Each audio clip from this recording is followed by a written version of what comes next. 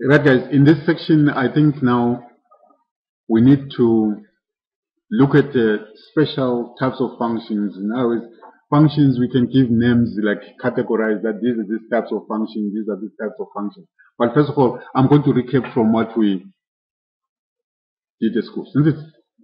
So let's say, let me just write the, sorry for the wrong ink. Let me just write the functions. Now what is important for me is that we know how a function works. That we give it an input, it gives out a single output. We know what is an inverse function. We know what happens to a function and its inverse. And we know the relationship of graph of function and its inverse. All those things are things we have got at hand, isn't it? So now let's look at different types of functions. I think the easiest, some people actually are not, some people, generally mathematics, people describe these functions as very nice functions or just nice functions. Which are the nicest functions? You will see later in other chapters that these are the functions which are very easy to work with in different uh, situations. So I've just made a mistake and raised that. Functions. The nicest class of functions I think are the polynomials. Let me write the poly,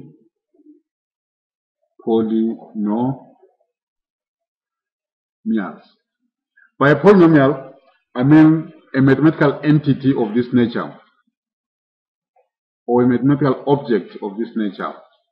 A0, A0 there is just a coefficient. You can take it as a C when you've got an equation y is equal to mx plus c. Then plus a1 x plus a2 x squared plus dash dash dash a n x to the power n. altogether. Now, if an is not equal to 0, then we say this is a, a polynomial of degree degree n. That n is, a natural number, like 1, 2, 3, 4, and so on. Is it? Okay, so that's point degree n. Then uh, let's say case number 0 here. Let's say case number 0 here. Let's say n is equal to 0 for all n greater or equals to 2. What am I saying there? I'm saying from here onwards, all these ANs, oh sorry, I'm making a mistake there. I'm supposed I to say AN. Let's say AN is equal to 0 for all n greater or equal to 2. What am I saying? I'm saying from here onwards, all these coefficients are 0. What are we left with? we're left with something like f of x equals to a1 plus, sorry, a0 plus a1x. What type of function is that? Equation of a line, is it? Then we've got what we call a linear function. That is linear. And what is important with linear, you must actually see that the, the degree of that is 1. Is it? Okay. So then let's look at case number 1. Let's say an is equals to 0 for all n greater or equals to 3. Which means from there onwards, we've got 0. So which means now we've got f of x which is equals to a0 plus a1 x plus a2 x squared. Can you agree with me that this is the same thing as ax squared plus bx plus c? What kind of an animal is that in mathematics? A quadratic function. All together? Okay. So, so we can continue this process, we get different types of functions. The next function I'm going to look at in this way, it will be a cubic function and so on, is it? Okay. So what is important here, what I want to highlight to, to, to you is that I think things like line, quadratic, cubic, you must actually be very, very like, I use the word fluent. I don't know whether that is the right word, but I hope it's going to be understood. You must be very, very fluent and very, very like skillful in plotting, understanding their properties, and so on and so forth. Isn't? So if I ask you to tell me about, the, you can tell me easily about parabola. Altogether, the line. I think the line we've discussed a lot. Maybe for now, just for a few minutes, let's look at the, the parabola. Altogether, let's look at the parabola. Um, let me say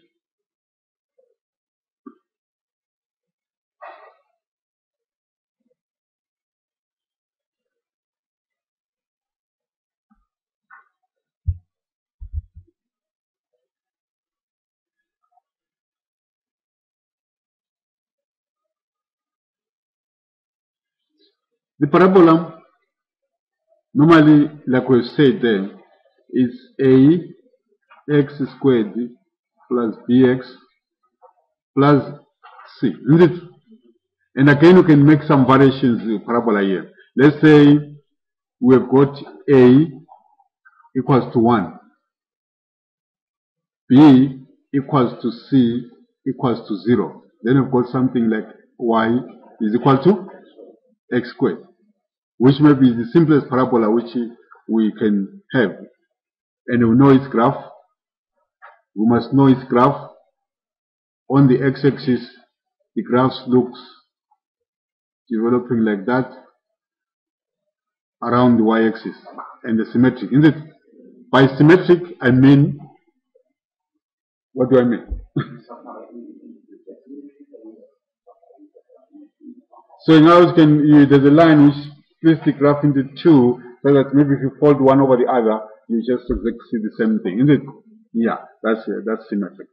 Now, the other thing which is very important is that you must understand that this graph, as it is in this form, we can go into some kind of algebraic manipulation here until we get to something like ax minus h all squared plus Okay.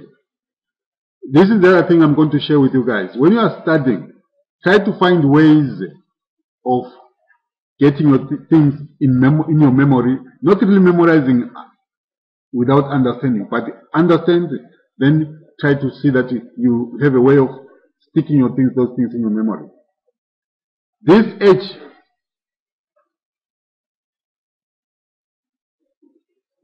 and this K he has got a meaning. You know it, is it? I think we've discussed this.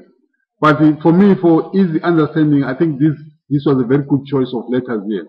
H is for horizontal movement. Horizontal movement. Now it's translation horizontal, isn't it? And the K is for vertical, ka, cal, vertical translation in any graph. If you've got something like that, you must know that that graph has been moved horizontally. Uh, um, I will later, in a tutorial form, I will actually use a, a quick computer to, to draw different variations of this graph so that you can see how the, the movement goes this way and that way. Altogether. Okay. You understand that. This is what happens then. Okay. So that's, that's the, the, the, the then, then talking about parabola, another function which I would also want to also highlight there, I think is the hyperbola. Is it? Hyperbola. The function y is equal to 1 over x. Altogether. Then you remember this function I'm just going quick here because I, I suppose you understand these things, isn't it? Right. This function, whatever input it gets, it inverts it, isn't it? So if it gets somewhere here, 1 over 1000, a very small number, it will be somewhere very, very high there, isn't it? Like 1000. So which means as you come closer to this zero from this direction, this function is growing bigger and bigger there, isn't it? But if you come this side and say, this number is 1 over 1000, but now if you come here to 1000 somewhere there, let's say this was 1000, then you say 1 over 1000, what you get? Very, very small number, isn't it? But if you come to 1 here, you say 1 over 1, what do you get? 1, isn't it? So which means it passes through 1, 1, isn't it? Is that right? So it will then come this way. But never touch the 0. If you come this side, something different is going to happen. We're going to have the, we're going to have the minus 1. If you take minus 1, 1 over minus 1, get minus 1. So it's going to be somewhere there. If you go, if you look at that, do the analysis, you see that we come also with a curve which comes that way. Now, talking about what we, dis we discussed here, you must then be able to get a function, be able to plot a function which says 1 over x minus 2 uh, 6. What's going to happen? There will be minus 2 movement. Which direction? To the? To the positive side. Okay. And then there will be 6 movement to the?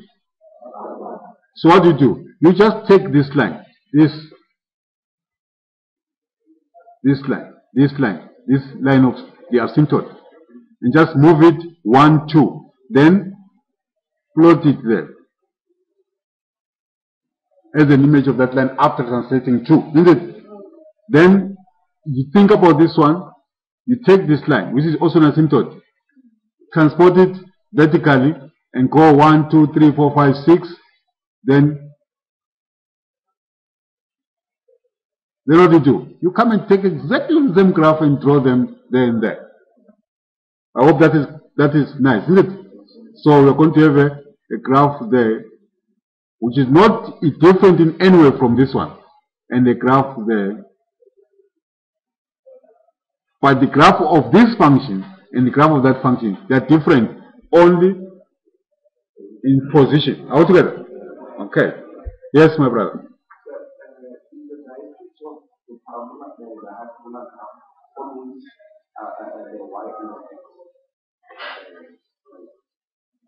The asymptotes.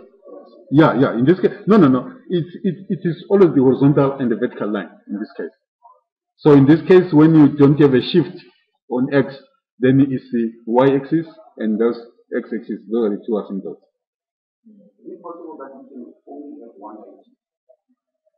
For this graph, I don't know whether I understand the word diathesis very correctly. You are talking about the symptom. For this graph, no, it's not possible. For this one. But for other functions, yes, you can have only one asymptote. Yeah.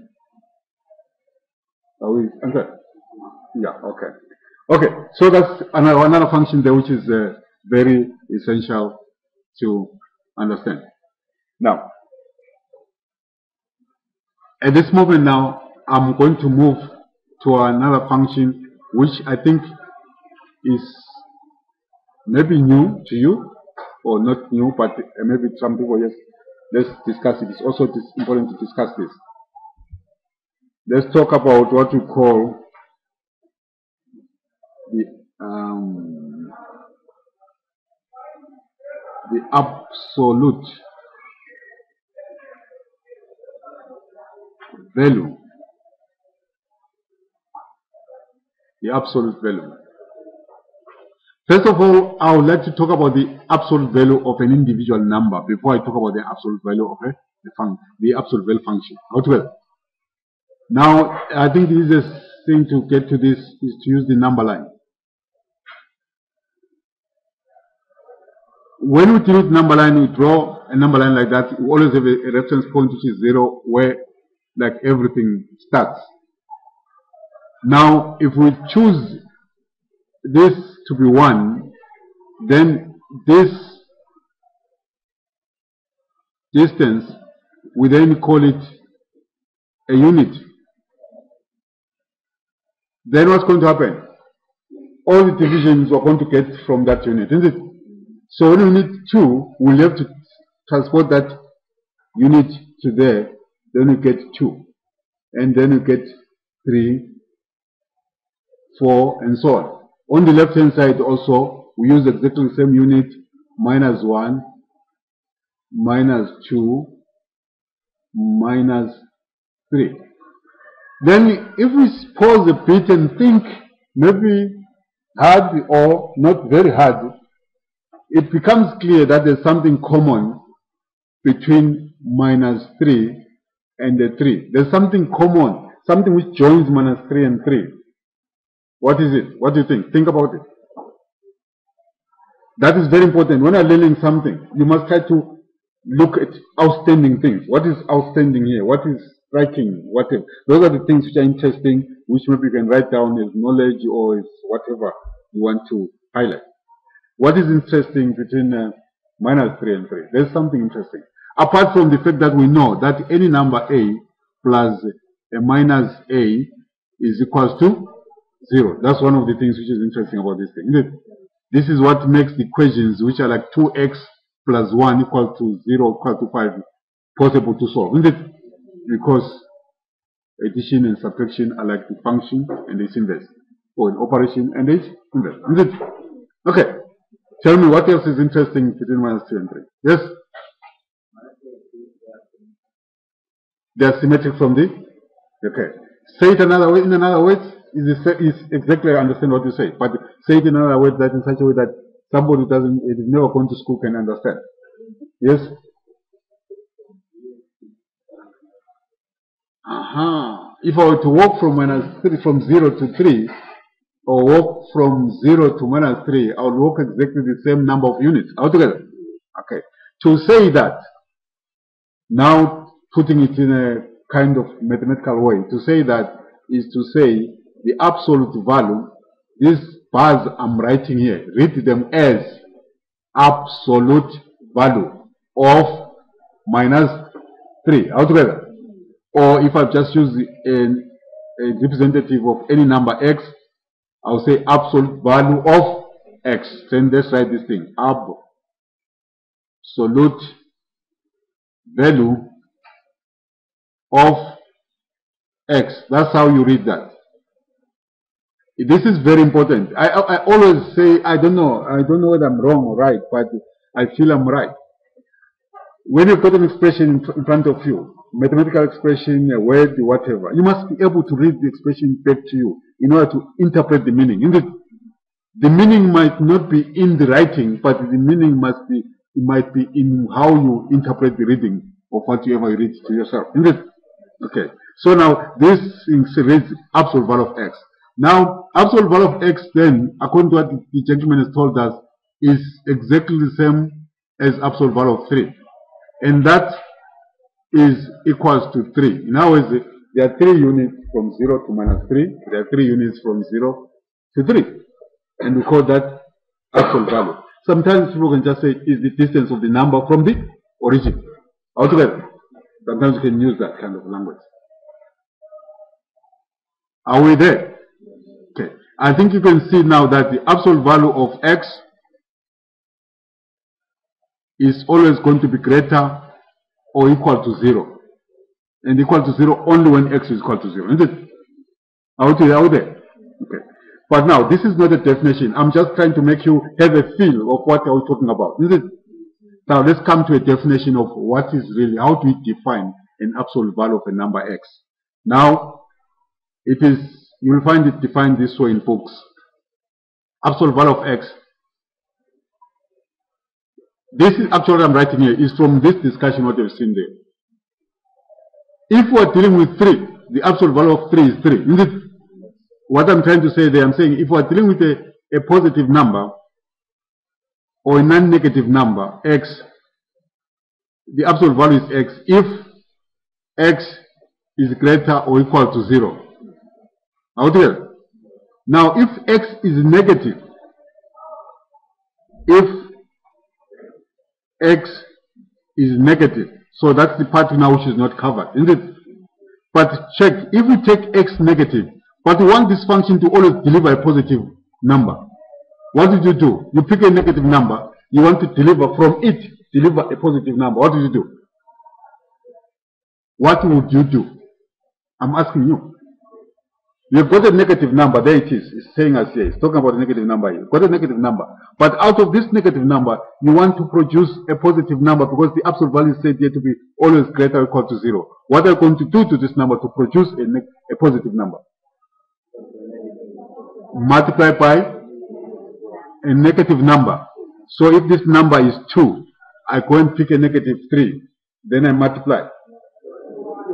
Okay a negative 1. Why? Because 1 is a special number. Isn't it? It doesn't, when you multiply a number by 1, the magnitude does not change, isn't it? Now, if you take a negative 1, the, that one will multiply the number, the negative will fall, isn't it? So then you have got to say now, this is uh, that. All together. So please get used to, to this kind of situation. As you can see, I'm teaching, but most of the times I would like to get the answers from you, or put the, throw the answers out. So be prepared to say wrong answers and the correct answers. This The two are important. Did I tell you the story about wrong answers and correct answers? Isn't it? Yeah. The correct answers are going to tell me how much, how far we've gone learning. The wrong answers will tell me how far we still need to cover some ground, isn't it? So the two things are important. Okay, good. So now we've got a definition of uh, absolute value. Now I think we can talk about the absolute value function. In other words, we've got to get something like y is equal to f of x and this function is an absolute value function. Can we move? Okay, let's move. Now is absolute value function. Don't mind my the way I speak English. Sometimes I say the value, sometimes I say the value. Uh, when I say value, it's when I, I, I remember those people who always say me as to say value, but naturally I'll say value. right. So that's just a joke. Don't worry about that. So y is equals to f of x f of x equals to absolute value of the function. Oh, that this is the statement now of f of x. I think what is important for us, now we know how functions transform on the system of coordinates, how they are shifted to the left, how they are shifted to the right, how they are lifted up vertically, we know that it is. So we're also going to take all that information to this function. But before we take that information to this function, we must first of all unpack the function and see what is this graph looking like. But this graph is already given by this, by the definition. x, if x is greater or equal to 0, minus x if x is less than 0. I think I've got a question for you. You said, what type of function is this? Remember what we, we discussed before. What kind of function is this? The absolute value function. What type of function is this? Yes, a straight line function, but think about what we did this week and uh, we talked about it. it. Piecewise. Ah, piecewise defined function. So what are we having there? We're having two functions y equals to x and the y is equal to minus x altogether. Now if you think about their graphs, I think I did sketch these graphs before, isn't it? If you think about the graphs of these functions, this one is the bisector of the first and third quadrant. That is, I'm talking about the first one. And the second one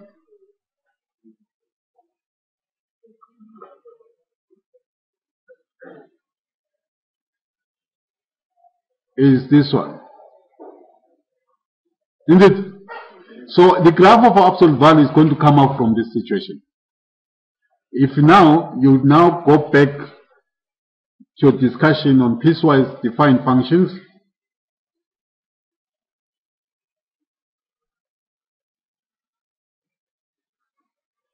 Piecewise defined function just means that we don't have a single expression for the whole domain. In know, one expression has got this domain pattern and the other one has got another domain somewhere. So the first line here says it's x, which is y is equal to x. But where? Only when x is greater or equal to 0. So that thing there, 0 is included, remember? Then we've got that line. Altogether, which is that part. Well, they're calling only for that part of the function going almost that side. They don't come this side for this part. We are calling for this function. But where? Only for less than 0. This function will not take a value of 0. Why? Strict inequality there, isn't it?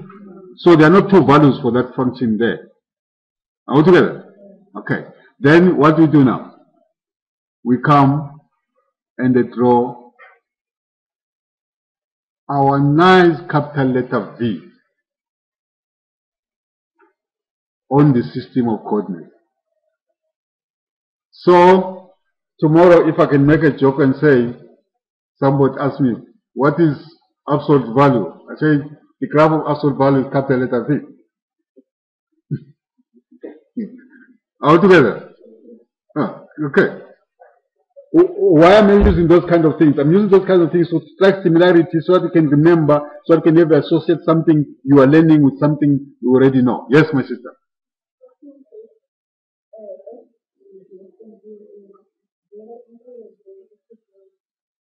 Come again? Zero is included on this right hand side of the, the part, this one.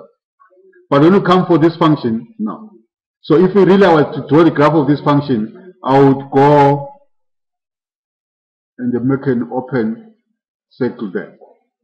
Altogether. You understand what I'm saying?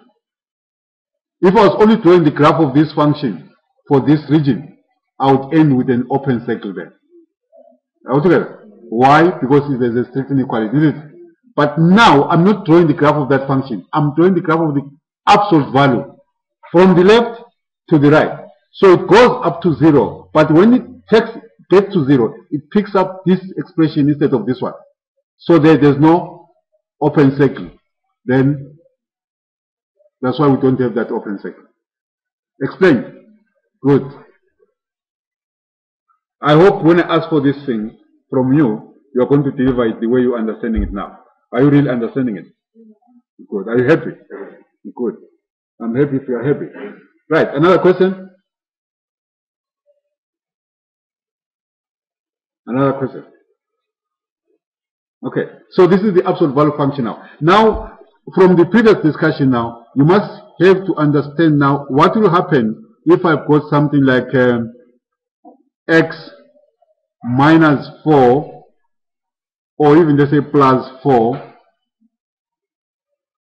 minus 6 this is still an absolute function but not the standard the simplest one a transformed one. There's been a translation there's been a vertical translation a horizontal translation. So I wanted to go and engage these kind of things and uh, solve problems. Are you ready for that? Okay. So now, let's pass to another stage of this thing now. What we're talking about now is uh, related to inequalities involving absolute value. Inequalities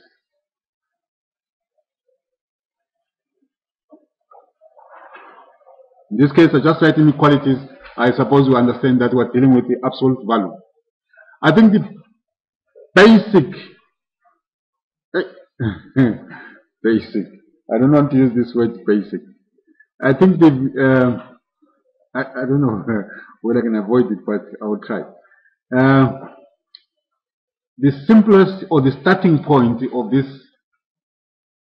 starting on equalities is to understand this.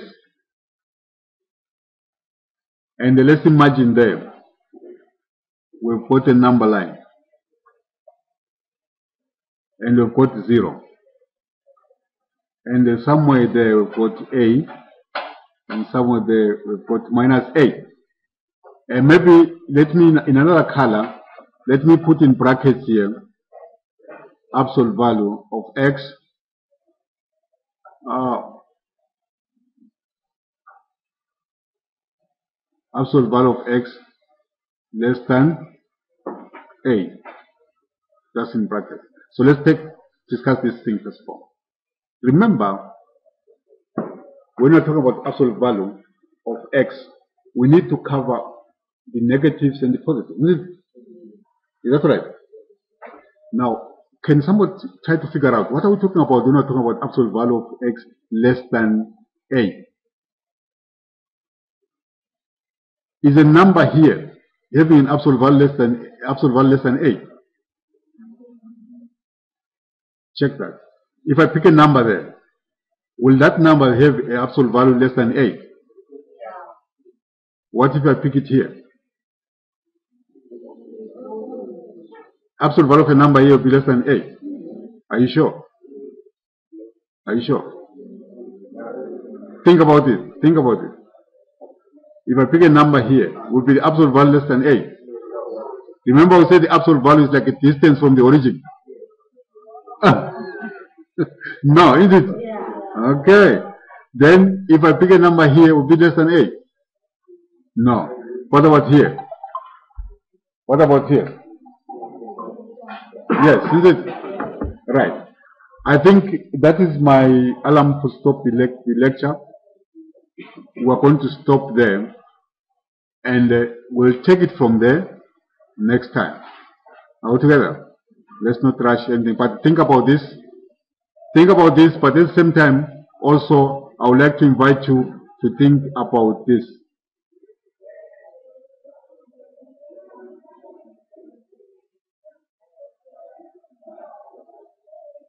And the pictures here will help you.